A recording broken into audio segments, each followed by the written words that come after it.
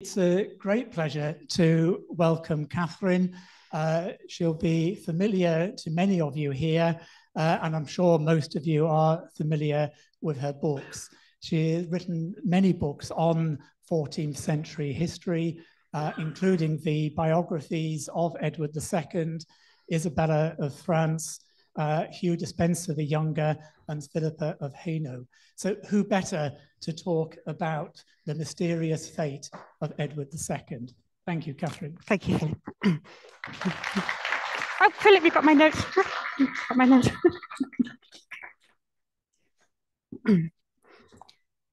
Good morning, ladies and gentlemen, and thank you for that warm welcome. Can everyone hear me okay? Great. So I'm here today to talk to you about an intriguing historical mystery. Was a king murdered in 1327, or did he perhaps live on for years past that date? I'd like to show you the evidence for both sides. There's really no doubt that Edward II, who succeeded his father Edward I in July 1307, is one of England's most unsuccessful kings in history, and his disastrous reign came to an end in January 1327 when he was forced to abdicate his throne to his 14 year old son, Edward III. During the young king's minority, his kingdom was ruled by his mother, Isabella of France, Edward II's wife, and her close ally, Roger Mortimer of Wigmore, who became the first Earl of March in late 1328. Isabella and Roger had led an invasion of England in September 1326 and ended up bringing about Edward II's downfall after they executed his favourite chamberlain and virtual co-ruler of the previous few years, Hugh Despenser the Younger, Lord of Glamorgan. Although the deposition or forced abdication of English kings later became reasonably common, in 1327, it was unprecedented and revolutionary, and nobody really knew how they could achieve it. So I often get the sense in late in uh, early 1327 that people were slowly groping their way towards trying to find a solution to the problem of Edward II, and no one quite knew either what to do with with the former king who was still alive in the reign of his successor because this had never happened before. So at first, Edward II, who is now merely Sir Edward of Carnarvon, uh, his birthplace in, in Wales, and throughout the talk I'll refer to him both as Edward II and, and Edward of Carnarvon, uh, was held at Kenilworth Castle in Warwickshire in the custody of his cousin Henry of Lancaster, Earl of Lancaster and Leicester. In early April 1327, sorry, sorry, I'm just trying to show you a picture of Berkeley Castle and it's not moving forward. Oh, there we go. So sorry about that, ladies and gentlemen. In early April 1327, Edward was transferred to Berkeley Castle in Gloucestershire, which is about halfway between Gloucester and Bristol, and was put in the care of Thomas, Lord Berkeley, who was Roger Mortimer's son in law, the husband of Roger's eldest daughter, Margaret. Lord Berkeley's brother in law, Sir John Maltravers of Dorset, was appointed as the former King's joint custodian, and another knight from Somerset called Sir Thomas Gurney was also involved. Despite what you may have heard or read, there is every reason to believe that Edward II was well treated while he was in captivity at Berkeley Castle. The tales of his mistreatment, which are still often repeated today, for example, that he was deliberately kept in a small cell near animal carcasses in the hope that the, the stench would, uh, would suffocate him to death, were invented several decades later by a chronicler called Geoffrey Le Baker. Baker wished to promote Edward II's canonization as a saint of all the horrendously unlikely things, so invented stories of how Edward had patiently and nobly suffered the torments inflicted on him by lesser men, the satraps of Satan, as Baker memorably called them. But uh, we do have good reason to believe that Edward received good food and wine while he was at Berkeley. And while, of course, he wasn't free to leave, it does seem that he had servants looking after him. And at first, Edward of Carnarvon's whereabouts were deliberately kept secret. His followers had been taken by surprise by the speed of his downfall in late 1326 and early 1327, but they soon regrouped. And in 1327, there were four plots to free Edward from captivity that, that I know of. Uh, the first one took place at Kenilworth Castle when he was still held there earlier in the year. And in July 1327, a group of followers led by the Dunheved brothers, Stephen and Thomas from Warwickshire, found out where Edward was being held and attacked Berkeley Castle. Rather remarkably, they managed to snatch Edward from Lord Berkeley's custody, although I'm not actually sure whether they took him out of the castle altogether or whether they just freed him from the, the cell or the room where he was being held in the castle. But we know about this attack from a letter sent by Lord Berkeley himself at the end of July 1327. Lord Berkeley's letter also said that there was another plot in Bedfordshire, Buckinghamshire, and Berkshire to free Edward, and a fourth plot also came in September 1327, this one in Wales, led by Sir Rhys ap Griffith and Sir Griffith Lloyd. And when this plot was uncovered, some of the plotters fled north to Scotland, while the rest of them were imprisoned in Carnarvon Castle in North Wales, which ironically enough was Edward II's birthplace. This latest plot obviously convinced some people that the former king was just too dangerous to be kept alive. If Edward II was ever freed from captivity, he might try to claim his throne that he had lost to his son, and civil war would ensue. Queen Isabella would be punished, perhaps by being sent to a nunnery, while Roger Mortimer and his allies who had taken part in the downfall of Edward II would be executed, almost certainly by being subjected to the traitor's death of drawing, hanging, and quartering. Roger Mortimer was the Justice of Wales in 1327, and his deputy was Sir William Shelford.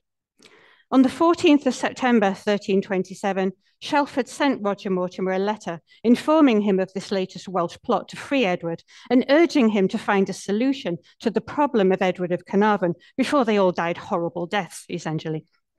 So Roger's response was to send a man called William Ockley, a man at arms who was a long term Mortimer retainer, to Berkeley Castle. And on the 21st of September 1327, Edward II was supposedly murdered at Berkeley Castle. There's little doubt about the correct date. The 21st of September is the feast day of St. Matthew the Evangelist, and most English chroniclers of the 14th century agree on the date. And we also have a letter from the young King Edward III himself on the matter. In September 1327, Edward III was in Lincoln, where he just held Parliament. He was still only 14 at this point. Uh, born on the 13th of November 1312, the young king hadn't even had his 15th birthday yet. And on the 24th of September, he sent a letter to his cousin, John de Bohun, the Earl of Hereford, whose late mother, Isabella, was one of Edward II's sisters.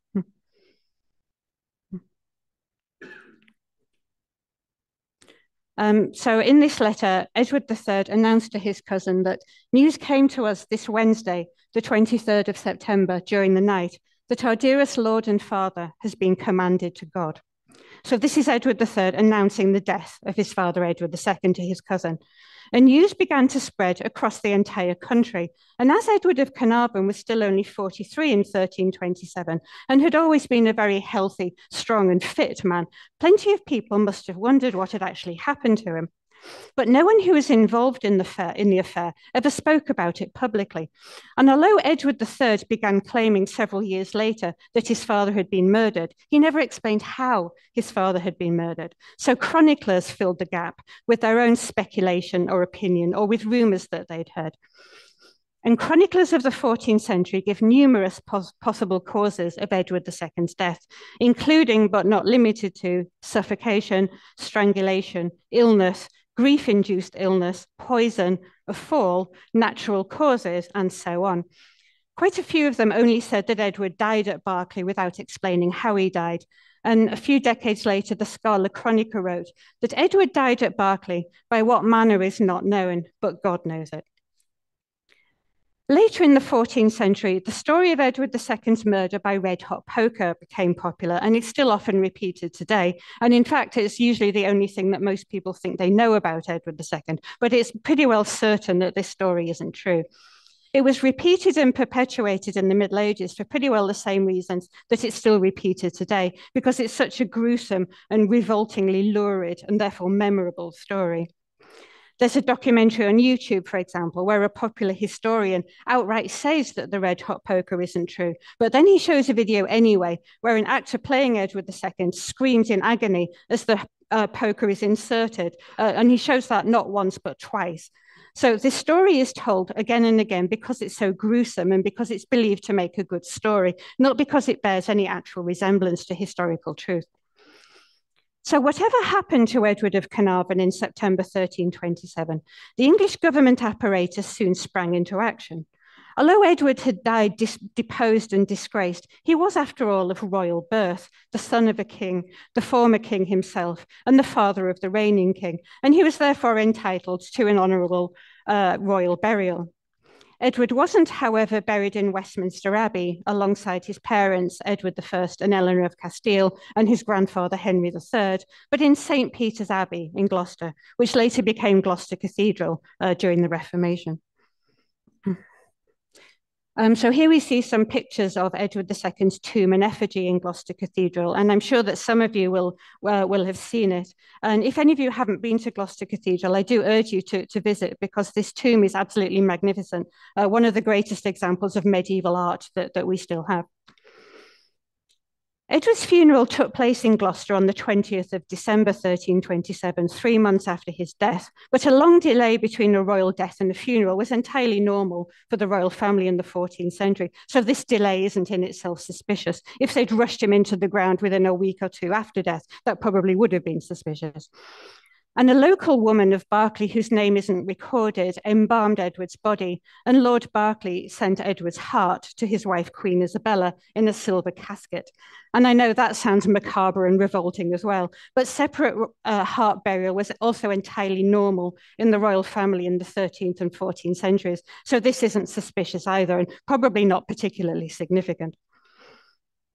Edward's body remained at Berkeley Castle for a month after his death until the 21st of October.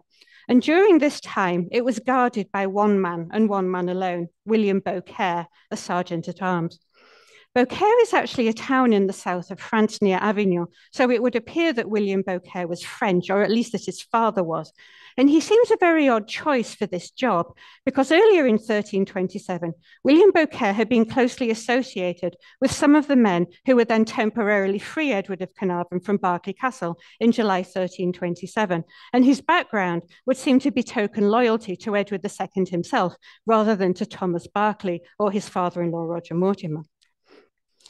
And another seeming oddity is raised by the chronicler Adam Murimuth, a royal clerk who was the only chronicler in the southwest of England in the autumn of 1327. He was in Exeter. He says that a number of abbots, knights, and burgesses from Bristol and Gloucester saw Edward's body, but that they only saw it superficially. And what he meant by that is unclear, and a lot of ink has been spilt on, on the meaning of this statement. And as so often, Murimuth's statement raises more questions than it answers, like who exactly were these men? Why did they go and see Edward of Carnarvon's body? Did this happen at Berkeley Castle or later, after Edward had been moved to Gloucester? Who invited them? Did they all go together in one large group or in small groups or individually? You see, we just don't know the answers to any of these questions, though we can be fairly sure that at least some of the men would have seen Edward II in person during his reign and would have known what he looked like. However, as Ian Mortimer has pointed out in his work on Edward II's death, royal embalming of the 14th century involved covering the face entirely with wax impregnated cloth. So whether these men actually had the, ch the chance to see Edward's face uh, remains unclear. On the 21st of October 1327, Edward's body was moved from Berkeley to Gloucester in a procession and was laid in state at the Abbey. No expense was spared in decorating the hearse on which his body lay. Uh, it was decorated with images of the four evangelists, leopards, and angels, and so on, while oak barriers were constructed to keep the, the crowds at bay. I can imagine that a lot of people were very curious to see the dead king. You know, dead kings aren't something that, that happen very often. And it does seem that Edward's face was covered while he was lying in state, and also that his body was, because a few years um, a few years ago, the historian Ernst Kantorowicz wrote in his book *The King's Two Bodies* that Edward II's lying in state and funeral was the first time that a life-sized effigy was used uh, in royal funeral in Western European history. Not all that much is known about Edward II's funeral on the 20th of December 1327, except that it cost £351, which in modern terms would run into probably many hundreds of thousands. Edward III was certainly there, who's now 15 years old, with his mother, Queen Isabella. We know that Edward II's half brother, the Earl of Kent, was there, and no doubt other members of the English royal family were there, uh, with members of the English nobility and the episcopate. However, many of them had been able to make that difficult journey to Gloucester in the dead of winter. Roger Mortimer of Wigmore was also there and had had himself a new black tunic made for the occasion. Three years later, Edward III had Roger dragged to his execution wearing that tunic. So at the end of 1327, the disgraced former king was dead and his story was over, or so it seemed. Three years later, in October 1330, at not quite 18 years old, Edward III overthrew his mother, Queen Isabella, and Roger Mortimer, and had Roger hanged at, at Tyburn. He, then, he thereafter took over the governance of his own realm. At the Parliament held in late 1330, which condemned Roger Mortimer to death, one of the 14 charges against him was having had Edward II killed, but how he was killed, Edward III didn't explain. Some of the men who had been involved in it fled abroad. William Ockley, uh, the man at arms whom uh, Roger Mortimer had sent to Berkeley Castle with news of the Welsh plot fled, and so did Thomas Gurney, the Knight of Somerset. He was actually the one who had taken Lord Berkeley's letters to Edward III in Lincoln explaining that his father was dead. And these two, William Ockley and Thomas Gurney, were the men whom Edward III actually accused uh, of killing his father, but be, they were sentenced to death in absentia and were never questioned uh, about the murder. Thomas Lord Berkeley did not flee, and he appeared before this parliament. When he was asked how he wished to acquit himself of the death of the former king in his custody, Lord Berkeley said something rather odd. he wishes to acquit himself of the death of the same king and says that he was never an accomplice, a helper, or procurer in his death, nor did he ever know of his, of his death until the present parliament. Now, it was certainly Lord Berkeley who sent Thomas Gurney to Edward III in Lincoln with news of his father's death. So, for him to say this three years later does seem rather odd. Although we should, of course, bear in mind that this, as, as you can see on the slide, was recorded in Latin in the rolls of Parliament, whereas Lord Berkeley would almost certainly have spoken in French. Berkeley also claimed that he had been seriously ill on the night of Edward's death and therefore that he couldn't remember anything and wasn't even at the castle anyway, uh, even though he was the one who informed the young king, Edward III, of his father's death. So this is a, a seeming oddity in, in, the narrative of Edward II's death or, or, murder. And another one is that Edward's half-brother, Edmund, Earl of Kent, the youngest son of Edward I, was beheaded for treason in March 1330. Edmund admitted to believing that his half brother was still alive at that time, over two years after his funeral, and that he was attempting to free him. According to the Brut Chronicle, the Earl of Kent wrote Edward II a letter, uh, sometime probably in 1329 or early 1330. And we can see some extracts from it here. Sir Knight, worshipful and dear brother, I shall ordain for you that soon you shall come out of prison, so you shall be king again as you were before. So the Brut Chronicle was written in Middle English, but uh, Kent's letter would certainly have been written in French in, in the original. So yes, here's the Earl of Kent in 1330 saying that he would free his supposedly dead half-brother uh, and make him king again. And for this, Kent was beheaded for treason in Winchester on the 19th of March, 1330. He was only 28 years old, so he was 17 years younger than his half-brother.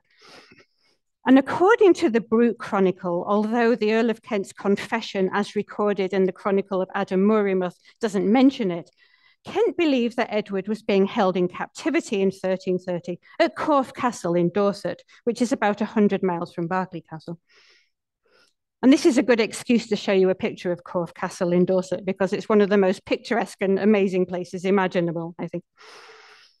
It is possible, though by no means certain, that Edward II actually was at Corfe Castle at some point in 1327. There are quite strong associations with him and the castle. For example, the Brut Chronicle actually thought that Edward was killed at Corfe Castle. Sir John Maltravers, who was Edward's joint custodian in 1327, came from this area and in September 1327 was said to be on the services of the king's father, meaning Edward II, uh, somewhere in or, or, or near Corfe. On the other hand, Corfe Castle is pretty well one of the last places that Edward II would have chosen to flee to uh, if he wasn't actually dead in September 1327. Basically, because John Maltravers, one of his custodians and one of his enemies, uh, was, uh, was very strong in that area.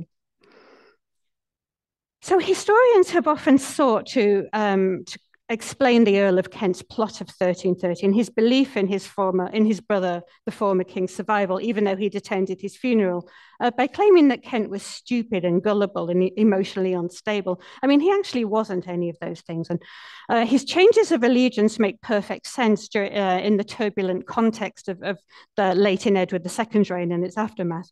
And other people whose careers followed a similar trajectory are often praised for their political astuteness, you know, not condemned as, as unstable. And if nothing else, Kent's plot does seem to imply that even Edward II's close family didn't have a chance to see his face before he was buried and didn't have a chance to identify him. There certainly were rumours throughout England and Wales in 1330 that Edward II was still alive, and people were being arrested for saying so. And some of the English chronicles of the time do comment on the rumours of Edward's survival, though I should point out that all the 14th century English chroniclers say that Edward died in 1327, even if they didn't know how. None of them gave the stories of his survival any credence, if they even bothered to mention them at all. And the Earl of Kent's plot has also often been discussed as though uh, Kent acted more or less alone. But in an article I wrote for the English Historical Review a few years ago, I identified around 70 people who certainly took part in his plot. Many of these people were imprisoned and their lands and goods were confiscated, while others fled abroad. Um, some of these, some of the men who, who took part in this plot were quite important men of the realm, lords and sheriffs, for example. The Archbishop of York was one, and I'll, I'll come to him in a minute. The Bishop and Mayor of London were also involved, as were some of the remnants of the Welsh plotters who had tried to free Edward from Berkeley in September 1327. And many others were low ranking former members of Edward II's household when he'd been king. So were some of the men who had worked alongside him most closely, most closely and knew him very well. Some of Kent's plotters, uh, fellow plotters, such as Lord Beaumont and Lord Wake, were former opponents of Edward II uh, and had played some kind of role in his downfall. So perhaps in their case, at, at least, uh, their joining the plot was more of an attempt to strike against the regime of Queen Isabella and Roger Mortimer, which was proving as disastrous as the one it had replaced, rather than because they genuinely believed that Edward II was alive and they wanted to help him. Of course, it's impossible to know people's motives for sure, but it, it, it, does seem that, that the Earl of Kent and at least some of his adherents in 1330 genuinely believed that Edward II was still alive years after his death and funeral and acted to free him. And they took a great risk in doing so. You know, Kent died for it. Others were imprisoned and lost their income for a few months or had to live in exile uh, until Edward III took over the governance of, of his own kingdom. In some cases, their families were also held under house arrest uh, for a few months. And it's also impossible to say for sure why Kent was so convinced that his half brother was still alive in 1330. And it seems that he covered up his real source. So, in his confession, at least ac according to the chronicler Adam Murimuth, although the record of this parliament doesn't survive, uh, Kent said that he'd heard of uh, Edward II's survival from a friar who raised a demon who told him Edward was alive. I mean, this is just a, a, nonsense story, and it's impossible that Kent's adherents, and especially the religious ones, would have followed him into treason and perhaps even execution on the basis of a demon raising friar. I mean, it's, it's, it's absolutely mad. And weeks after the Earl of Kent's execution, the sheriffs of 17 counties were still being ordered to search for and arrest his remaining adherents, and they were believed to be especially numerous in East Anglia, Hampshire, and Wales. I should also point out at this stage uh, the, the, important men of the realm who didn't join the Earl of Kent's plot, even though they might have been expected to, such as Kent's own brother, the Earl of Norfolk, who was Edward II's other half brother, their cousin, the Earl of Lancaster, and the Earl of Surrey, who was married to one of Edward II's nieces and had mostly been one of Edward's allies during his reign. And now we come to another oddity, uh, a letter sent on the 14th of January 1330 by the Archbishop of York and addressed to the Mayor of London, Simon Swanland. It was first discovered and printed in 1911, uh, but the author obviously didn't realize the significance of, of what he discovered, and neither did anyone else until almost a century later. So on the 14th of January 1330, the Archbishop of York told his kinsman, the Mayor of London, that we have certain news of our liege lord, Edward of Carnarvon, that he is alive and in good physical health. So this, of course, was over two years after Edward II's funeral, which is it's probable, though not certain, that uh, the Archbishop actually attended in person. So the Archbishop of York was William Melton, who came from a fairly humble background in Yorkshire and served as Archbishop of York from 1317 to 1340. He'd known Edward II since Edward was 12 or probably even younger than that, and was mostly his ally and staunch supporter, though he was by no means merely a yes man. For example, in 1324, Edward II was persecuting the Bishop of Hereford, Adam Orleton, on the grounds that Bishop Orleton had supported Roger Mortimer against him some years earlier. Archbishop Melton took Bishop Orleton under his protection and basically told the king to back off him, which Edward II actually did. So William Melton was highly thought of in his own lifetime as a, and ever since as a pious and generous man who would often forgive debts to him from the poor if repaying them would pay hardship. And chroniclers wrote that although he was a courtier, he remained uncorrupted by court life and was an honourable man. Melton was one of the few men who spoke out for Edward II during his uh, forced abdication in early 1327, which even Edward II's own half brothers, the Earls of Norfolk and Kent, didn't do. Uh, they supported Queen Isabella and Roger Mortimer. So Melton's letter is, is quite long, as, as you can see. So after he says that Edward II was alive and well, or that he had news that Edward II was alive and well, he asked uh, the mayor, Simon Swanland, who was a draper by profession, if he could procure clothing, boots, and riding equipment for the former king, as well as £200 in cash, uh, which again would run into several hundreds of thousands nowadays. Melton didn't say in the letter where he thought Edward II was still being held in captivity, but it's clear from the letter that his messenger to uh, Simon Swanland, a man called William Cliff, was also going to inform Swanland of, of other things um, orally. Melton sent another messenger to Scotland to Donald, Earl of Mar, who was an old friend and ally of Edward II, and had been involved in the plots to free Edward from Berkeley Castle in 1327. And Mar said that he would bring an army to England to help bring about Edward's release. According to a court case from around this time, and although this is, you know, kind of basically fourth-hand information and might not be accurate, William Melton's informant on the matter of Edward II's survival was a man called William Kingsclere, and it's interesting, therefore, to note that Kingsclere was arrested in 1332 for some kind of complicity in Edward II's murder, so that you know the whole case just gets murkier and murkier. Melton's letter does seem to show that he genuinely believed Edward II was alive in 1330, or at least, uh, you know, at least when he sent this letter. And he said that he was joyous about it. And although we don't know what had convinced him that Edward was alive, he was, after all, an archbishop in his 50s who'd reached his high position entirely on merit, unlike many of the other bishops and archbishops in 14th century England, who were pretty well just the younger sons of the nobility. Uh, and their appointment had a lot to do with, uh, with nepotism and good connections. And Melton was a former and future treasurer of England as well, and was certainly not a stupid, gullible, or, or inexperienced man. So I've seen it argued that he and the Earl of Kent were perhaps guilty of wishful thinking, wanting Edward II to still be alive, and also that the Earl of Kent perhaps felt guilt over not supporting his half brother in 1326 27, and therefore pretended that Edward was alive.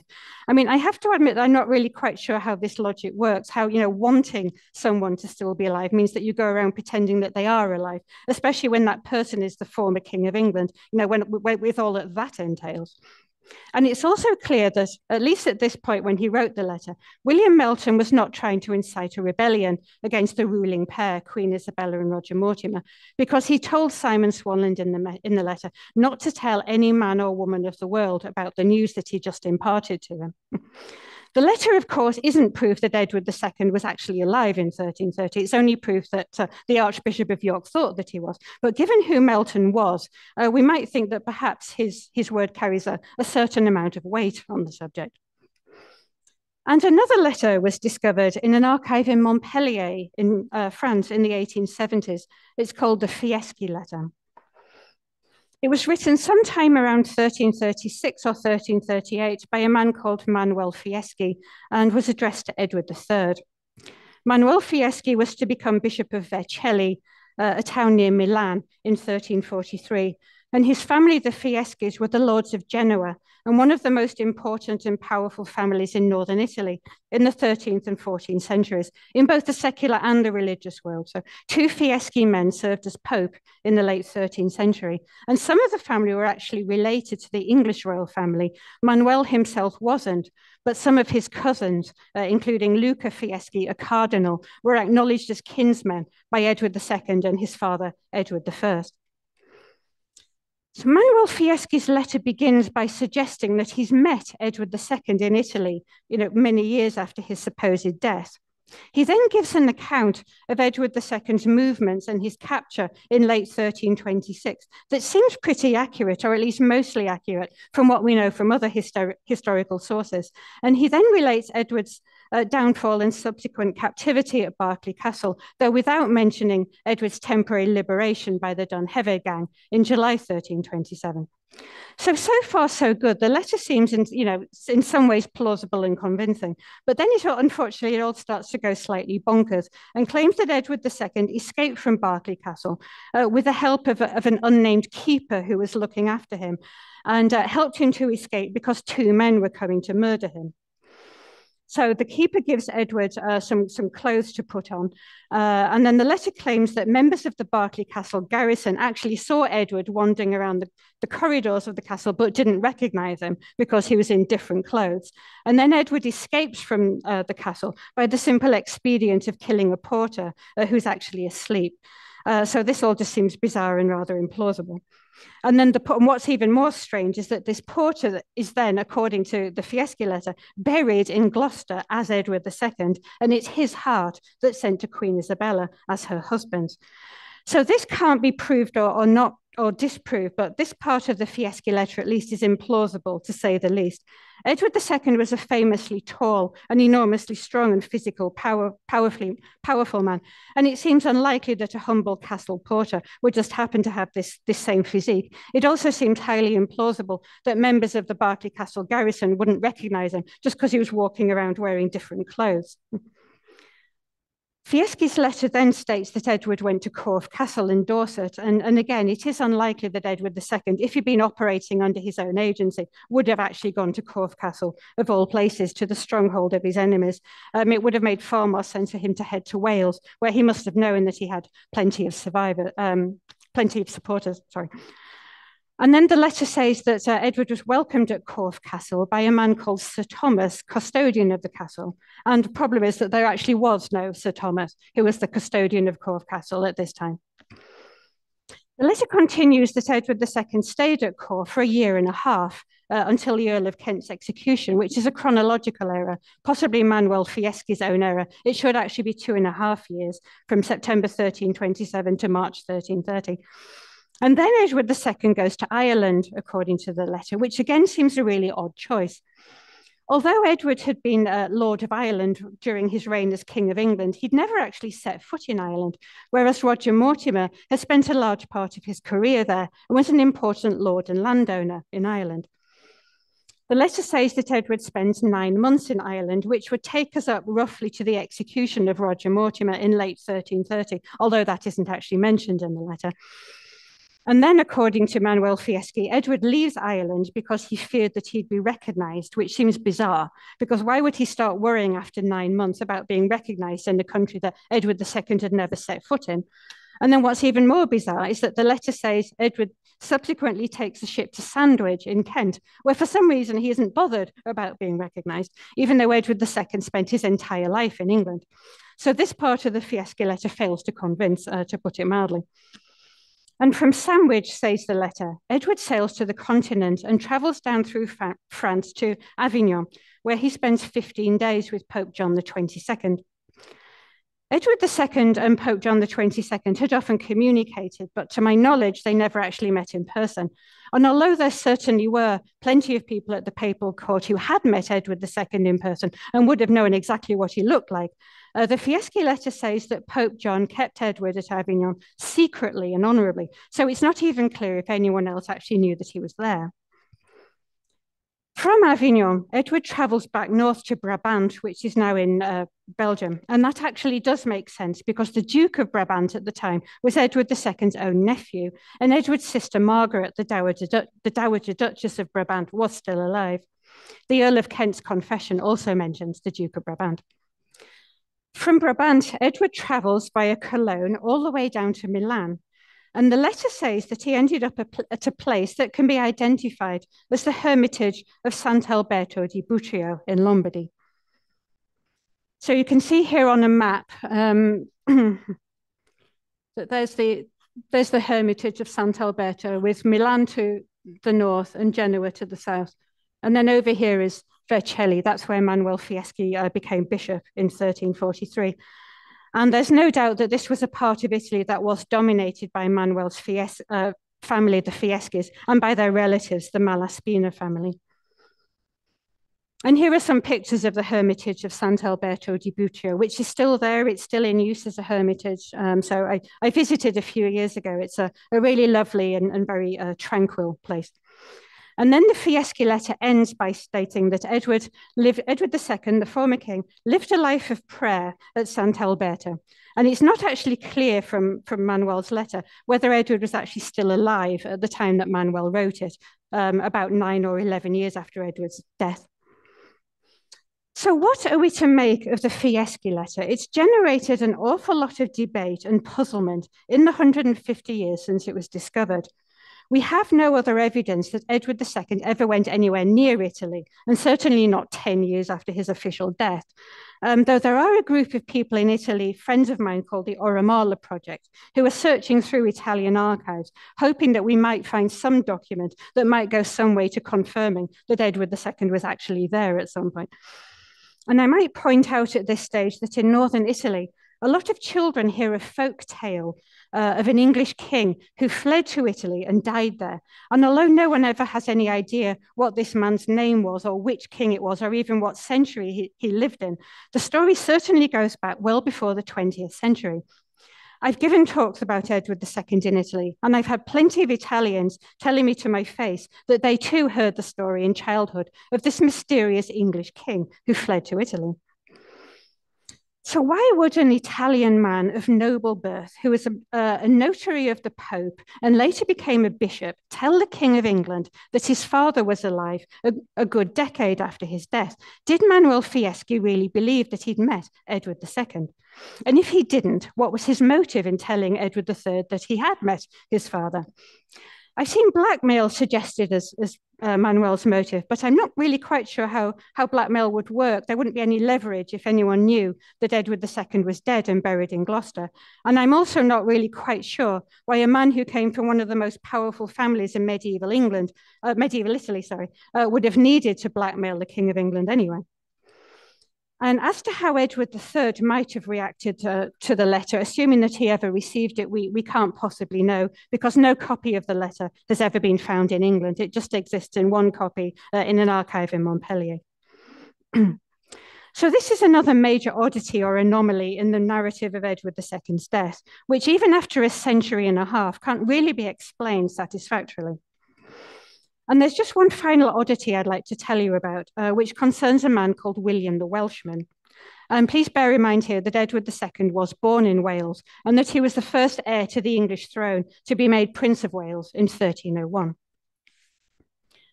When, it, when Edward III was in Koblenz in Germany in September 1338, 11 years after his father's death, his household accounts record that he met a man called William the Welshman, who says he is the king's father.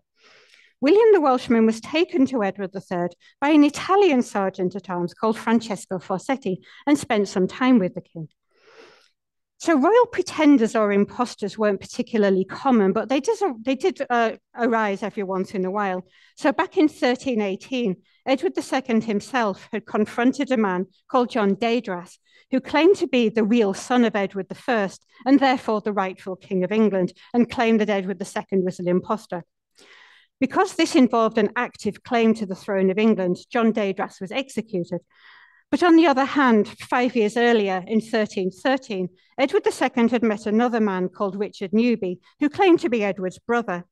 And because uh, Newby didn't demand anything from Edward uh, and didn't claim to be the rightful king of England, he wasn't executed. He just simply received some money from Edward and then vanishes from history. So to me, it's not all that surprising that Edward III might have been curious enough to meet a man who claimed to be his dead father 11 years after Edward II's death. And it's not even necessarily all that surprising that William, Wel William the Welshman wasn't executed if he didn't actually try to claim the English throne. But what is surprising to me is the time and the place of this meeting. So in 1337, Edward III had claimed the throne of France and he spent much of the period from 1338 to 1340 outside England, seeking allies against the French.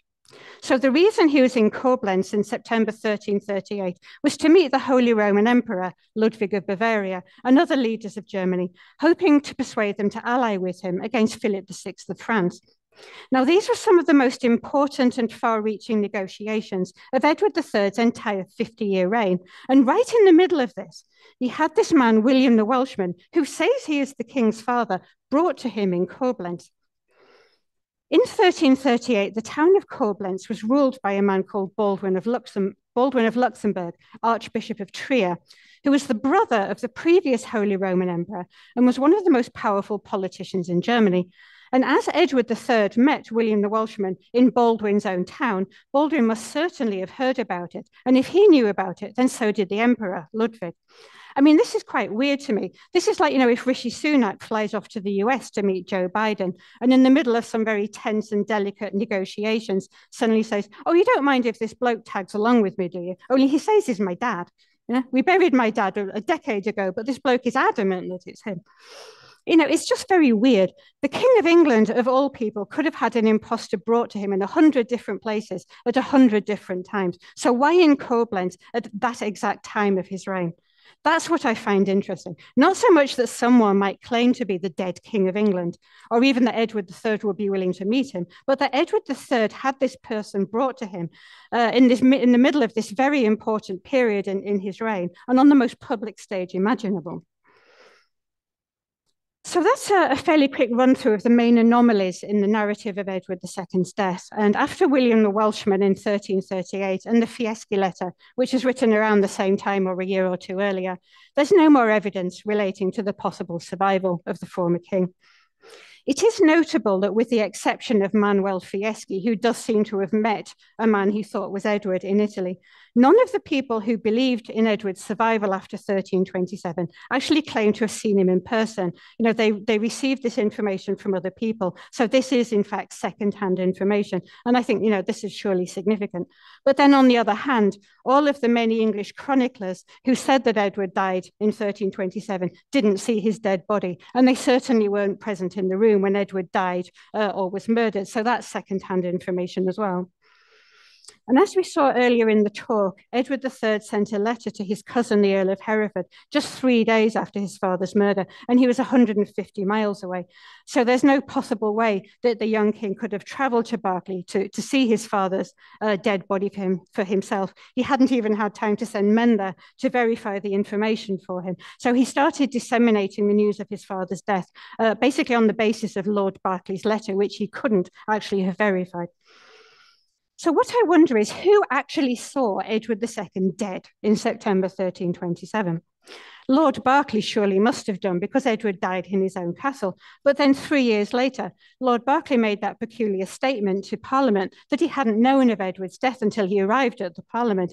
And even if we interpret Berkeley's statement as meaning that he didn't know Edward II had been murdered, or he didn't know anything about the circumstances of Edward's death, isn't that also a bit odd? I mean, I don't know about you, but I think that if a former king died in my home when I was legally responsible for him, even if I had nothing to do with his death, I think I might try to figure out what had happened at some point over the next three years. And someone who, of course, did see the body in 1327 was the unnamed local woman who carried out the embalming. Uh, but would a woman of her status ever actually have seen the former king in person? Would she have known what Edward II looks like? There are also the men who, according to the chronicler Adam Murimuth, uh, saw Edward's body, but superficially, the, the knights, abbots, and burgesses of Bristol and Gloucester. So, did they see his face? Another man who must have seen the body was William Beaukaire, the sergeant at arms, who guarded Edward's body for a month after his death. Uh, but uh, just a few months earlier, he'd been closely associated with some of Edward's chief supporters, who were shortly afterwards to free Edward from captivity at Berkeley Castle. And William Ockley and Thomas Gurney, the men whom Edward III actually accused of killing his father, they must surely have seen Edward II dead as well, but they fled abroad uh, when they were sentenced to death for the king's murder and were never questioned on the matter. So did Edward III, did Edward III even know how his father had been murdered? Uh, I mean, that would also have been second-hand information, surely. And the Earl of Kent's plot in 1329-1330 does seem to show that neither he nor any of his close family actually saw Edward's face before he was buried. I mean, it doesn't seem very likely that Kent would have committed treason and made elaborate plans to free Edward II from captivity if he'd actually had a chance to see his face and identify him. I mean, it may be perhaps that in 1327, Edward II's face was covered at least partly uh, because there would have been visible signs that he'd been murdered uh, on his face uh, at the time when his death was, was, was being presented as, as coming of natural causes. But then this inadvertently led some of Edward's supporters later into believing or suspecting that, that he wasn't dead after all. And when we look at Roger Mortimer of Wigmore, who between 1327 and 1330 was certainly the co-ruler of England with Queen Isabella uh, while Edward III was still underage, Ed Roger certainly had every motive to want Edward II dead. If Edward was ever freed and if he ever got the chance, uh, he would certainly subject Roger uh, to a terrible death by drawing, hanging, and quartering, and he would punish his family as well. So Roger Mortimer was charged with Edward II's murder in late 1330, but it was one of only it was only one of 14 charges against him. And we should bear in mind that a motive to kill, or even a strong motive to kill, isn't actually evidence of killing, and that some of Roger Mortimer's contemporaries, such as the Earl of uh, Kent and the Archbishop of York, did actually believe, at least for a while, that Roger hadn't had Edward II killed. And when it comes to Queen Isabella, things get a bit more complex. Edward II was, after all, her husband and the father of her children. And for those reasons, uh, she might not have wanted Edward dead at all. Uh, the assumption that Queen Isabella hated Edward and wanted him dead is an assumption, and it might not be true. It might be, it might not be. We, we, we don't know what Isabella was feeling in 1327. And then, of course, uh, Queen Isabella knew better than anyone how vengeful and vindictive her husband could be. And if he ever got the chance, he would certainly punish her as well, especially after she had had his uh, beloved favourite and chamberlain, Hugh Despenser the Younger, subjected to the traitor's death in November 1326. So perhaps the answer to this mystery is, after all, the most obvious one. Roger Mortimer of Wigmore ordered the murder of Edward, Edward II with the acquiescence, reluctant or otherwise, of Queen Isabella. Edward II certainly never appeared in public again after he was moved to Berkeley Castle in April 1327. He never walked into Parliament and went, oh, look, here I am. And as I pointed out, uh, the idea that he would have gone to Corfe Castle in Dorset and to Ireland, of all places, if he escaped, is not consistent with the way Edward II would certainly have behaved if he'd been operating under his own agency and making his own decisions. Edward is far more likely to have gone to Wales, uh, perhaps even to Amesbury Priory in Wiltshire, where his sister Mary was a nun and lived until 1332, or he might have gone to the continent to, to Brabant, where his other sister Margaret, the Dowager, Dowager Duchess, uh, was still alive. Could we perhaps construct some kind of narrative where Edward II was presented as dead in September 1327 while he was actually still alive to put a stop to the plots to free him while not actually committing regicide and the murder of Queen Isabella's husband? And then thereafter, Edward was secretly kept alive by Roger Mortimer and his associates, Thomas Berkeley and John Maltravers, so that when the Archbishop of York and the Earl of Kent thought that Edward was alive in 1330, maybe he actually still was. But one problem with this scenario is that someone was definitely buried in Gloucester in December 1327. And the problem with assuming that another man might have stood in, as it were, for Edward II's dead body is actually Edward II's own physique. So numerous English chroniclers of the 14th century comment on Edward II's height and his enormous physical strength. One chronicler says that he was one of the strongest men in his realm. And the Scottish poet says that Edward II was the strongest man that you might find in any country. So, where was anyone going to find another man with that kind of physique? Certainly not a humble castle porter, you you would have to imagine. Um, Edward II's coffin in Gloucester Abbey, his, uh, Gloucester Cathedral, sorry, has never actually been opened, incidentally. Uh, his tomb was opened in 1855 and his coffin was seen uh, but not opened. So maybe someday, if, if, permission is ever forthcoming to open the coffin, maybe we'll get some kind of answers to at least some of the mystery. And how do we fit the Fieschi letter into the narrative? Its account of Edward II's last months of freedom seems uh, accurate from what we know, uh, but its account of his of Edward's escape from Berkeley just seems actually quite bonkers, to put it mildly.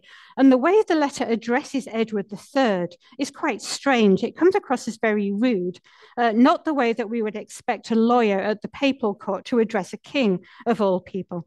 And some, some people believe that the Latin of the letter isn't consistent with the standard we would expect from a man who was a lawyer at the papal court.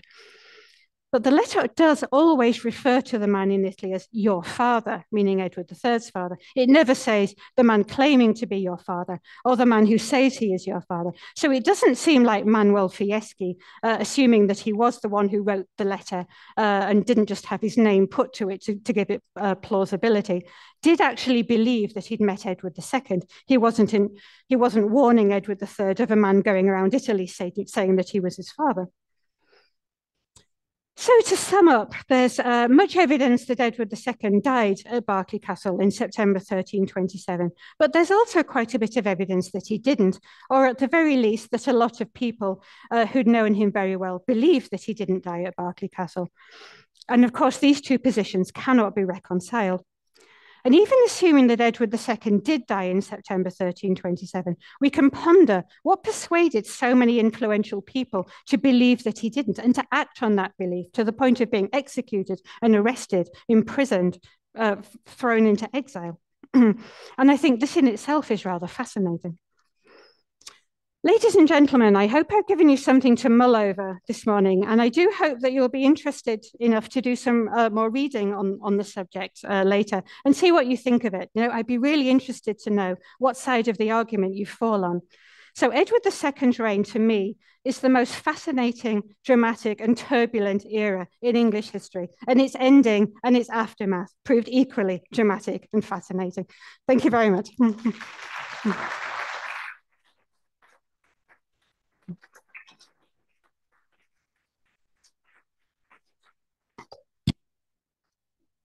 Thank you very much, Kathryn. Uh, indeed, I think you've uh, given us a great deal to mull over. Uh, I think I always think that one of the fascinating aspects of study of medieval history is that there is a, a certain amount that we can be fairly confident uh, of knowing, uh, but also quite significant amounts uh, that we don't know. And we have to accept that we don't know but it's fascinating to research and to study and to explore uh, and to look at what evidence there is and what conclusions can be drawn. And so I think you have very clearly uh, set out for us the evidence uh, for both for the death of Edward II at Berkeley or the survival. And as you say, people can assess that evidence and draw their own conclusions uh, which you invited people to do. So we have got a couple of minutes. Uh, if people would like to ask any questions of, to Kathryn or indeed make any comments, uh, give their views. Uh, people at home, uh, you can submit questions on the chat. Uh, Clive is in the auditorium and can tell, read out your questions. Are you indicating, Clive, that there is a question? A whole right. Well, okay. We'll have we'll have to be selective then. um, if if Alistair um, isn't able to, and I should just say that Alistair has emailed me again to ask me to give everybody his apologies. Uh, he's really sorry to have let us down that he hasn't been able to join us this morning. He's still hopeful he might be able to recover in time for this afternoon. But as I said, I think uh, if Alistair can't join us, then the final slot this afternoon can be an opportunity for a panel discussion and more questions. So there will possibly be time later. Uh, but Clive, can you read out one of, the questions? Um, first one that came through has partly all answered, but have the remains in Gloucester Cathedral ever been scientifically examined? Sorry, Edward II remains. Remains, yes. Uh, no, unfortunately, no. Um, the tomb was only opened in 1855, and then the coffin wasn't actually examined. So no one's actually seen the remains until uh, the funeral in December 1327 uh, unfortunately. So I think you know, you know, maybe it would be great if, if sometime if we, we could get permission to actually open the coffin, but uh, and actually examine the remains, and you know, with with modern technology and, and scientific knowledge, obviously. But of course, I think it is very difficult nowadays to get permission to to open up tombs, um, just to to satisfy curiosity. So yeah, so unfortunately, I'm not sure that we'll ever actually be able to, to solve the mystery by, by looking at uh, the remains in, in Gloucester Cathedral. Okay, is there any, anybody in the auditorium who would like to make it? Right, okay, some hands have immediately gone up. Come to this lady over here first. Kathryn, what, what do you make of the fact that Edward III, well, Edward II didn't give up his title, the Prince of Wales? It was the one title he didn't give up. And then it was only later in 1340s that Edward III used it. Yes, um, so this is a this is one of Ian Mortimer's uh, ideas that uh, Edward II was the King of England, Lord of Ireland, Duke of Aquitaine, Prince of Wales, Earl of Chester, and Count of Ponthieu, and he gave up five of those titles to his son. But the one he never actually uh, gave up was Prince of Wales. The future Edward III was never actually made Prince of Wales, and the next Prince of Wales after Edward II was his grandson, who's known as the Black Prince, the eldest son of Edward III and grandfather and uh, father of of uh, Richard II. Um, so uh, yes, I think you know Ian, Ian, Mortimer certainly thinks that that this um, indicates that perhaps William the Welshman might have been Edward II because he was still perhaps officially uh, the Prince of Wales. But you know, I, I, mean, for myself, I think the fact that Edward was born in North Wales and you know was always called Edward of Carnarvon in his own lifetime is is also yeah quite significant as well, perhaps. Could you tell us a bit more about the Fieschi letter? Is it um, absolutely contemporary? Or is it a copy and, and what kind of manuscript? It was yes, it was it was copied into the cartulary of, of the bishops of Maguelone, which is how it actually ended up being in Montpellier in, in the first place. So um, I think people who are you know um, experts on handwriting and and the kind and Latin and that kind of thing, they that they do strongly believe that it is actually contemporary to to the 1330s or, or thereabouts. Um, so I don't think it's believed to be a fake in that sense, in that it was just copied in, you know, centuries later. Um, but as I point, you know, as I, I, pointed out, there are some issues with it, and one of the issues is that this the standard of, of Latin and the way it addresses Edward III is yeah, it's a, perhaps a bit too casual for, for a papal lawyer who is addressing uh, the King of England. So there is a theory that perhaps it's not fake in the sense that it was written centuries later, but that it was kind of forged by someone else for reasons unknown, person and persons unknown, and had Manuel Fieschi's name put to it uh, to give it a kind of plausibility because of who Manuel actually was. So, yeah, it's it's a real mystery the Fieschi letter. Yeah, there's there's all kinds of you know of like you know theories and, and debates about about it. But I think no one's ever really come up with like the one solution, like it means this, you know. And it was definitely written here for this purpose, you know. So it's it's it's fascinating to to consider. I think. Yeah. Right, we'll take one more question from uh, the on, online questions, and then, then we'll need to move on. Uh, was Archbishop Melton punished in any way by Edward III after the Kent plot? Um, so during Roger Mortimer and Isabella's regime, uh, the Archbishop was actually put on trial in front of King's Bench on a charge of treason, basically because he'd invited Donald of Mar to come to England. And so uh, Mar said that he would bring an army. So therefore, Melton had committed treason by inviting a foreign army to England. But rather strangely, he was, he was actually acquitted. Uh, and then a few months later, uh, very shortly after uh, Edward III overthrew his mother and Queen Isabella, he reappointed William Melton as, as the Treasurer of England. Uh, so it certainly doesn't seem that he was angry with him uh, in any way for, for believing that Edward II had still been alive. Okay, we'll just fit in one last question.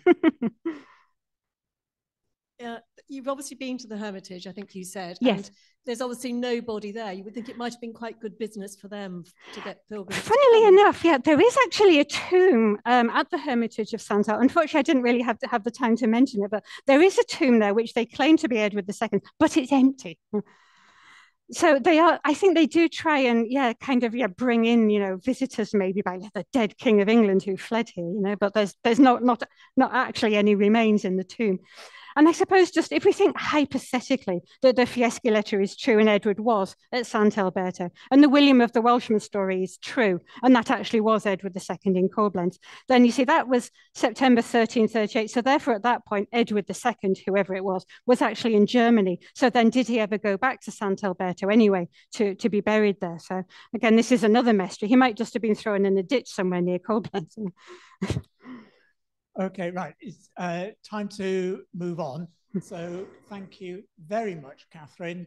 Uh, that's been a fascinating talk and certainly has stirred up a lot of conversation and comments. And as I said, there might be an opportunity this afternoon to come back to that. Uh, one thing that I'm aware of is that uh, we do have a number of people attending online uh, in, in the United States and Canada. So thank you very much to those people for getting up quite early in the morning. Um, certainly for people on the, get my geography right, on the eastern seaboard, then it will have been 5, 5 a.m. Uh, start for you, uh, and uh, even earlier for people in the central uh, uh, and western uh, seaboard. but I think one um, one reflection uh, on, on, your talk, Kathryn, mm-hmm. is that um, I'm.